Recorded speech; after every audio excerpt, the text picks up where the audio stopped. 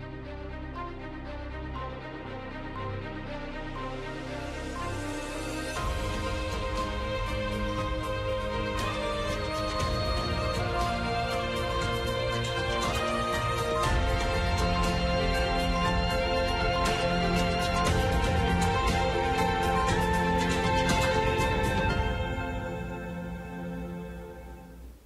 very warm good evening, ladies and gentlemen. Good evening, viewers. I'm Matthias Ofiku, news editor of the Namibian Sun newspaper.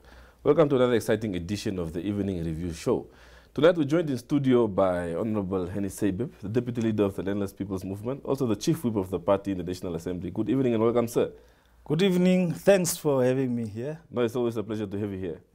Well, let's get right into business. You had a press conference earlier today um, can you just give us a summary of uh, the key points of that press and what necessitated this press conference? Yeah, no, I, I had a press conference, as you ri uh, rightly mentioned it. Uh, we were looking at the farm evictions uh, of the Acacia farm that has been given, uh, trying to remove the marginalized community once again from the farmland. And also we look at the University of Namibia postgraduate courses, mm -hmm. more especially as it pertains to the master's in public administration degree. Mm -hmm. We also look at the accumulation of our resources, uh, NAMDIA and uh, B2 Gold, uh, in solidarity with the striking workforce there at B2 Gold. And uh, we also touch on uh, basically the general conditions mm -hmm. in Namibia as it pertains to natural resources and so on. So yeah. it was all-inclusive, short uh, press conference. okay, yeah. Let, let's start with the land issue. Of course, it's a founding, a key founding value of, of, of the party. Where, where are we getting it wrong 32 years later? We are still on this land topic. Where are we not getting it right? I, I think what we lack in Namibia is that we don't have a class agenda as far as the land redistribution is concerned in this country.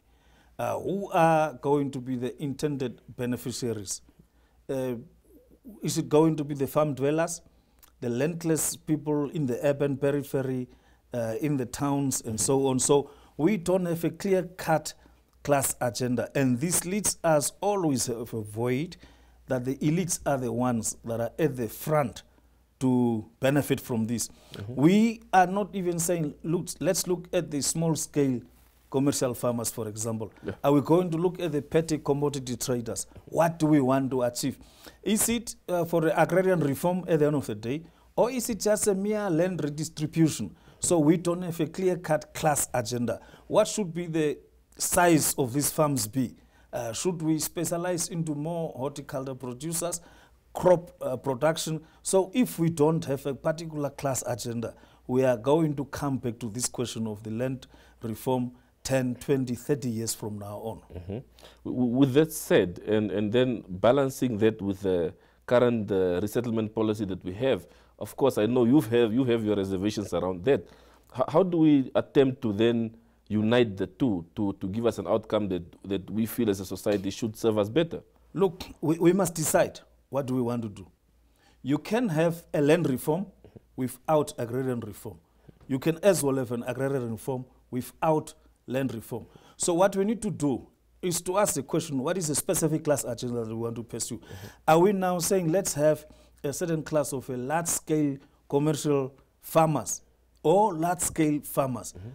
Are we going to move into the trend of the medium-scale uh, farming?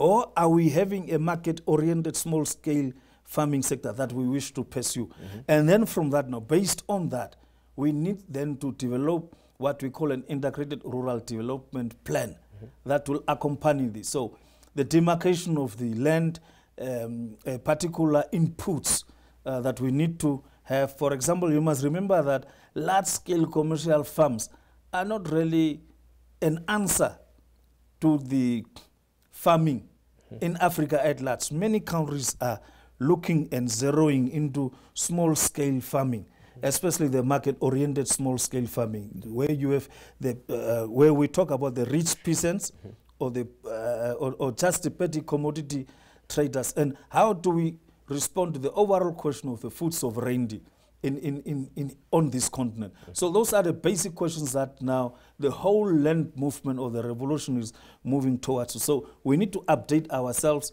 and be speaking to the current uh, uh, uh, discourse that is going around. Yeah. Uh, therefore, we need to have much research that will be able to provide us sufficient answers. Yeah.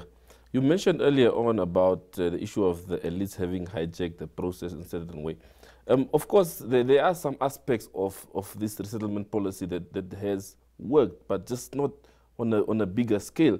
So, and our problem over the years has really been the issue of good policies, but the implementation thereof, like you mentioned. So, with the, with the solutions that you are proposing, how do we then avoid a situation whereby, again, we have those who are tasked with making decisions hijacking that very same process that's supposed to benefit the person on the ground? Exactly, that is a worry.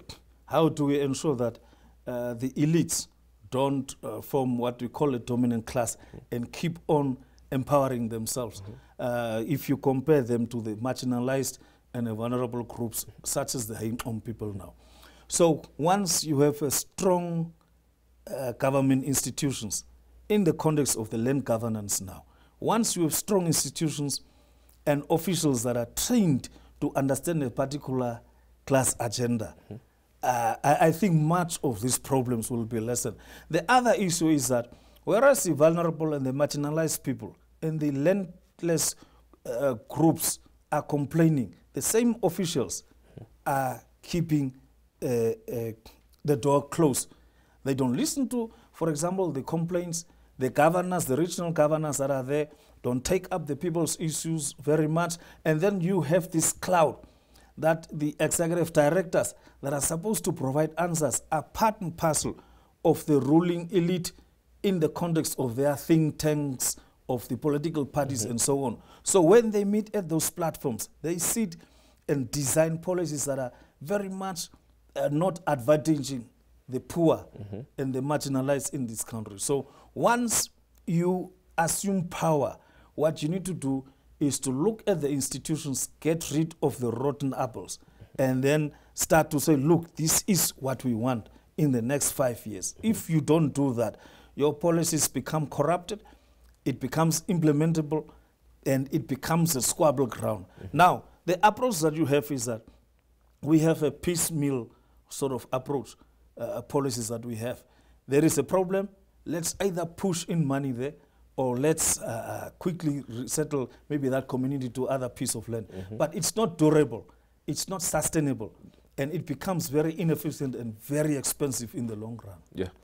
Um, another issue that I'd like you to touch on is, is the issue of this one size fits all approach that we tend to implement as far as uh, uh, public policies are concerned. And by this, what do I mean? You just mentioned now the HICOM. You can also mention the San the northeastern area who are not uh, supposed to live the way they naturally live because they can't hunt in the park. So these are some one size fits all type of policies that we have adopted over the years instead of really zeroing in on specific solutions for specific communities. Well, what do you say? How should we approach this? Yeah, um, look, we have several property rights regimes in this country. You have the common access, the common, the communal land or common pool resources. You have the private land and the state and so on. So now you need then therefore to design a specific class agenda. How do you want to accommodate all in a short space of time? five years, 10 years, so that then you can respond to their needs because people's needs will be different. Uh, in, in the land sector now that we are busy talking about, you will have specific farmers that wants to export their produce. So you need to design specific policies that are answerable to that. But then you also need to look at the food security, subsidization, seeds, for example, seed industry is big. We don't have a huge set uh, uh, a seed factory or manufacturer in this country. Where does it go?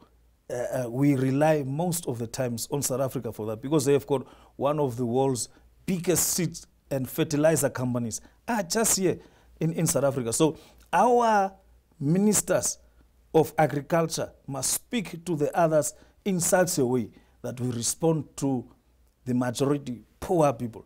Because you can't have a condition that the 60% of the people are poor uh, uh, and, and, and then you continue to go as if there was nothing going on in the country. So specific policies must be targeted to certain groups of people. Uh, let me give you an example. Uh, let's say MTC. There was a time that they were selling shares, I understand. So now the issue is now how do you ensure that a Himba, that a San in a Haingom also end up benefiting from those shares? Because once you put shares on the public domain, even me who is earning a small salary now won't be able to afford. But what about the most marginalized in the society? So can't we buy for them shares as a group? That, that, those are the things that we must ask. If you divert now to the current issue of the NAMDIA and the companies or, or, or the two business people that are said to have benefited, why don't we say, for example, uh, let's take 100 youth, Kavango West, Kavango East. They are good in athletics and so on. Why don't we, instead of me earning at the end of the day uh, 23 million or 20 million as part of the dividends, why don't we take those 100 youth, empower them, and then give them 1 million at the end of the day, each one of them? Now, how many youth will you empower as part of a larger group scheme at the end of the day? And that is what we must look at. This thing of evicting people mm-hmm. is becoming unsustainable. Where will those poor people go? They are born in Namibia, it was their land. Voortrekkers came, possessed their land. Mm-hmm. Later, Germans came, they took their land.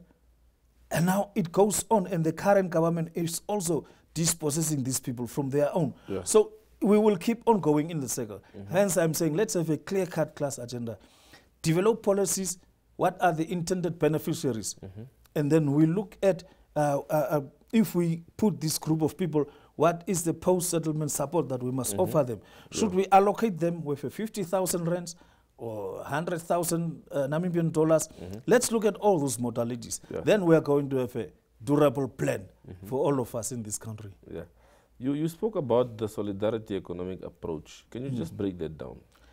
Solidarity economy uh, approach is the one that was advocated by uh, Mazibuko Jara. In South Africa, a few years ago, the Institute for Poverty, Land and Agrarian Studies at the land conference. So they commissioned uh, three academics. So this one was talking about the solidarity approach. That is now more left-leaning, that looks at the landless workers, the urban dwellers, and so on, and say, look, unless we accommodate the bulk of the dispossessed, the ones that were living in bantustans, like our reserves here, if we don't accommodate them into the mainstream small-scale agriculture, peasant farming, rich peasant farming, petty commodity traders, traders, then we are going to sit with the whole question of the land. So some, like the uh, Vink and Kirsten, were proposing a, a, a large-scale farming as an option.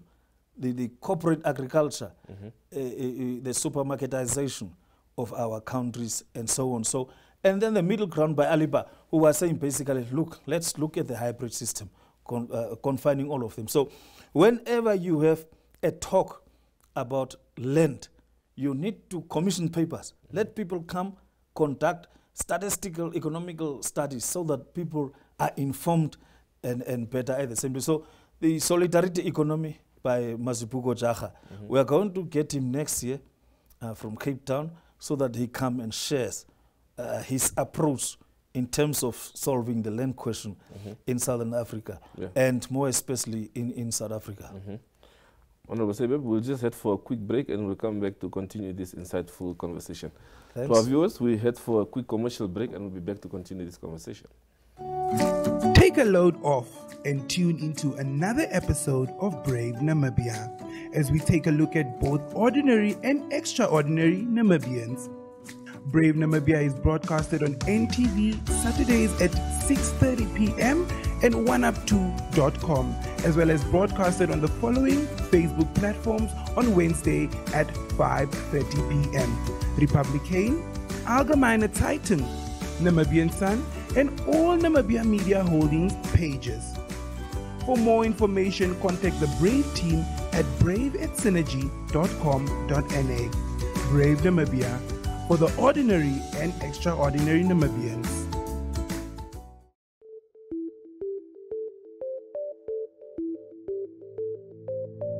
NMH at 1 brings you news from all across Namibia.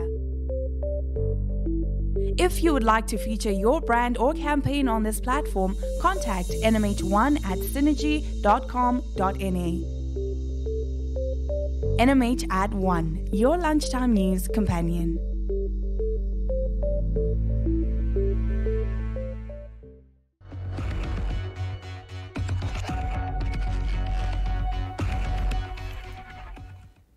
Well, let me welcome our viewers back from the short break. Well, Honorable Sebe, we, we spoke at length about the land issue, of course, a burning issue in the country.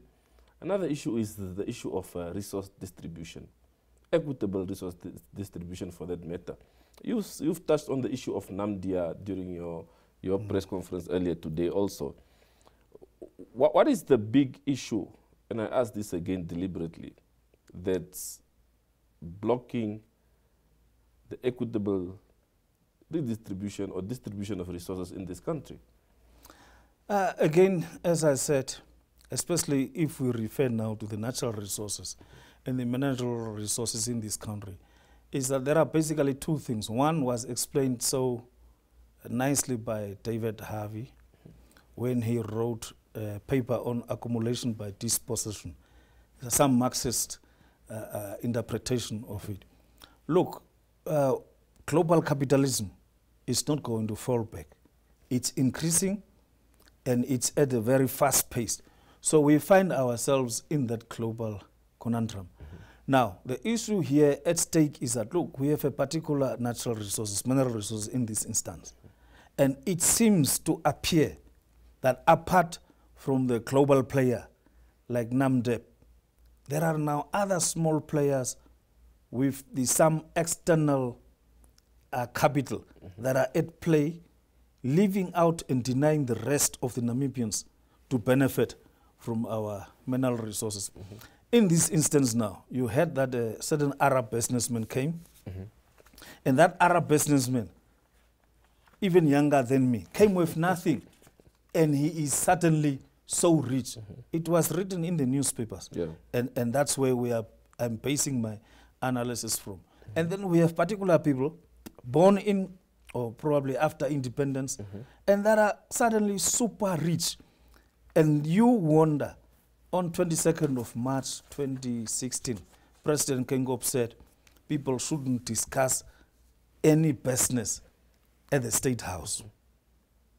Now, you start to wonder, we are told this, but the people that are very close to him are the ones that are benefiting so much today from the resources, uh, judging from the diamond industry and other industries. Uh, uh, uh, some of the, the colleagues that are now uh, uh, big players are actually a product of that.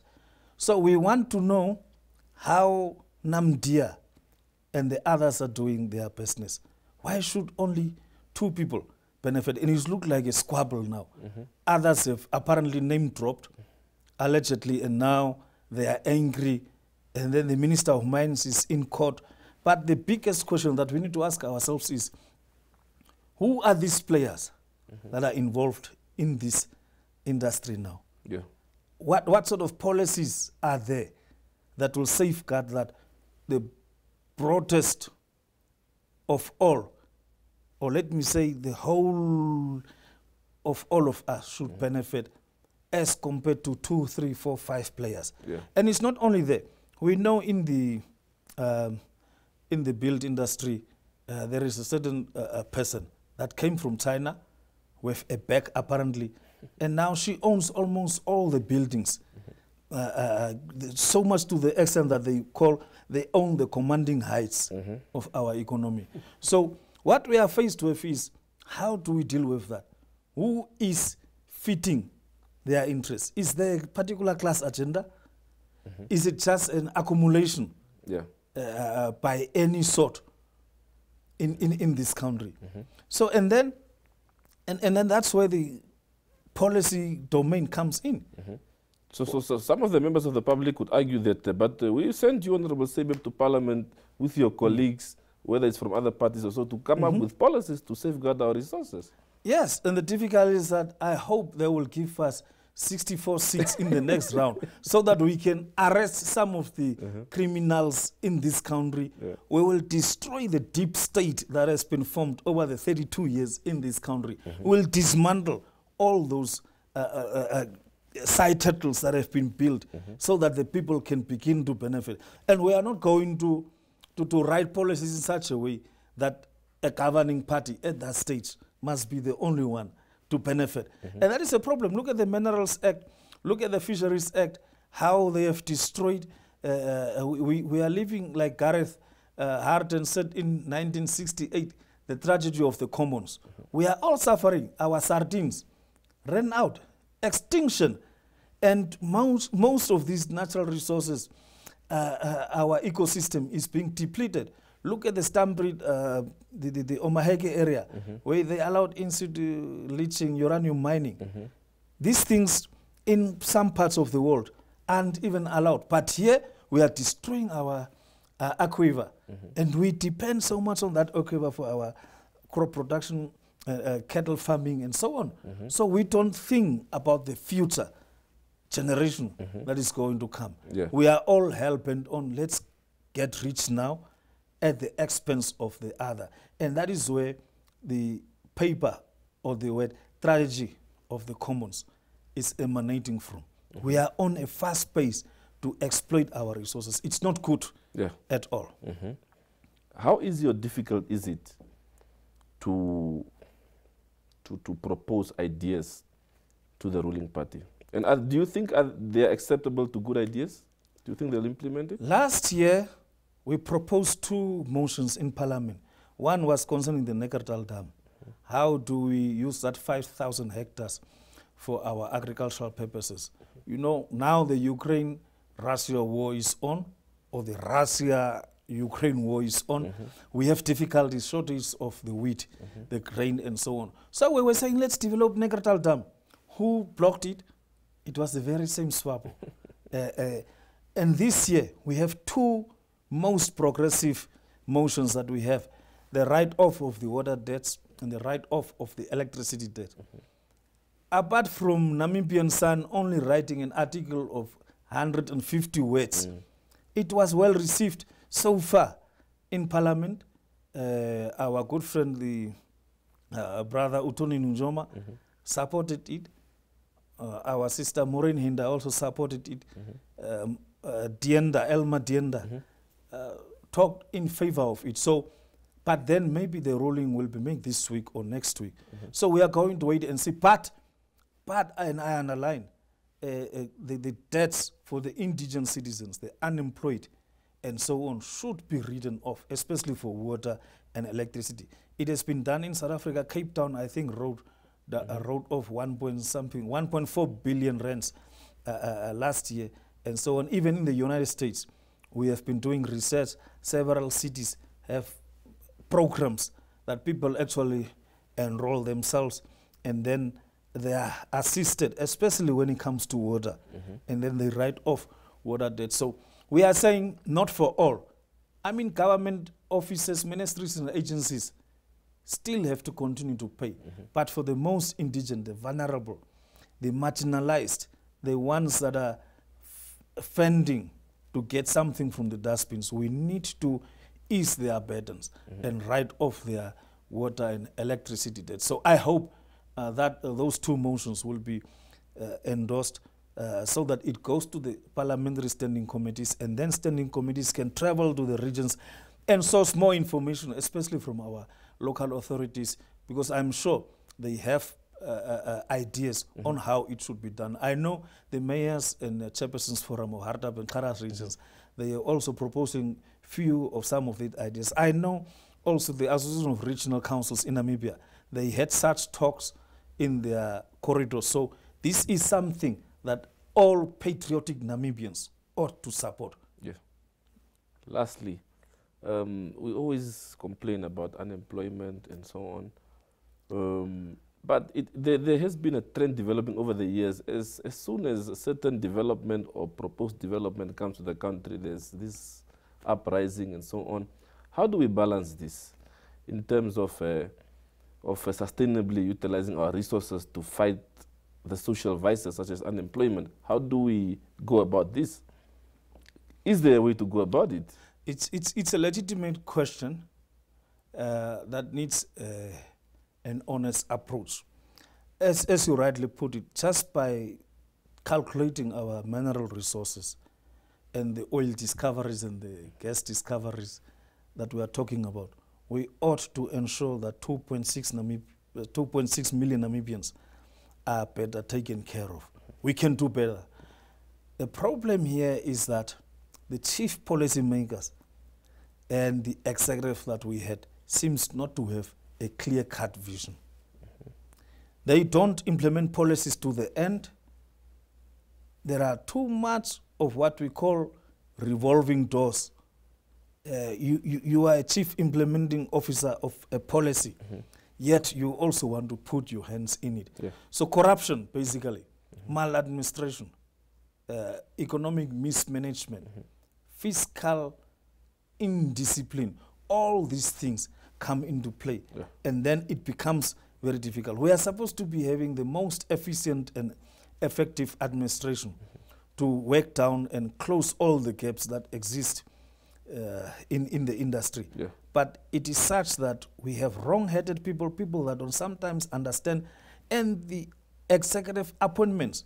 you will believe that, hey, this person also becoming a minister Yeah. or a deputy minister, it has become so readily accessible so that anyone without even commensurate skills, expertise, talent can become an executive member uh, in, in this country. It's, Yeah. it's, it's a metric, it's, it's, it's so a laughing stock. Uh, we, we, we are now depending on God to carry us forward. Uh, I, I don't know who else is going to come down from heaven and Yeah. help us, except if it is not God or Jesus Christ. Honorable Sebe, thank you very much for your time this evening. thanks, It- thanks, it thanks was very indeed much. good to having you in studio and all the mm. best. Thanks. Well, to our viewers, that's it from the Evening Review team this evening. Have a pleasant evening.